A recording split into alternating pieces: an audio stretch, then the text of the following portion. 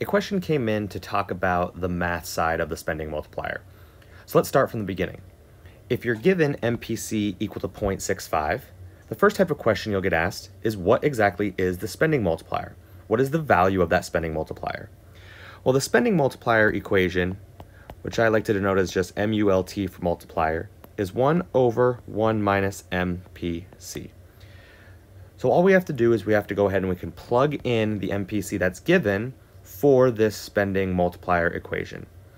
So we plug in 1 over 1 minus 0.65.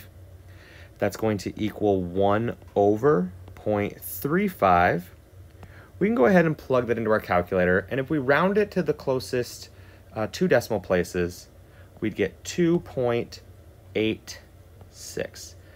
And so what this is telling us is if any part of autonomous spending, so A naught, which was that C bar, I bar, G bar, NX bar, if any part of this changes by one unit, GDP is going to change by 2.86 units. So that's how you calculate the spending multiplier, and then that's how you apply it. We'll work on a few more questions today as well.